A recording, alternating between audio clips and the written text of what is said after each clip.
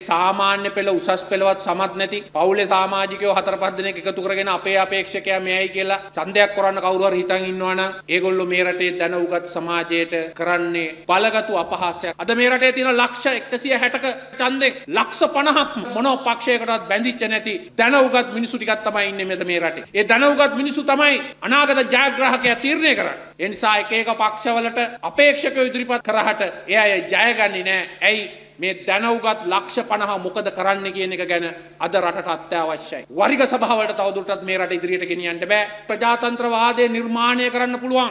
පුළුල් සන්ධානයක් ඇති කරගත යුතුයි.